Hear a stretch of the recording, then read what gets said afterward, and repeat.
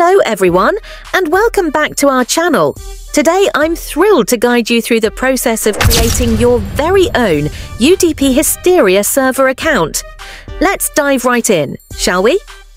First, open your preferred browser and navigate to the Howdy website. Once you're on the homepage, look for the hamburger icon located on the left side of your screen. Click on it to reveal a list of menus. From this list, select the Tunnel label to continue.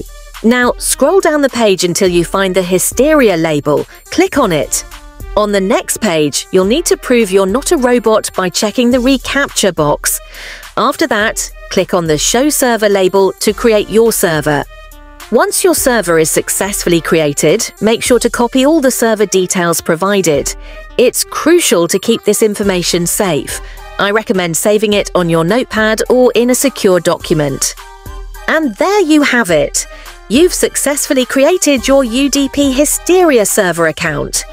If you're unsure about how to set up this server on IO Tunnel or other AG Injector, we have a detailed video tutorial linked below. Feel free to check it out for additional guidance. That's all for today. I hope you found this tutorial helpful. If you did, don't forget to like, share and subscribe for more tech tutorials and guides. Thanks for watching!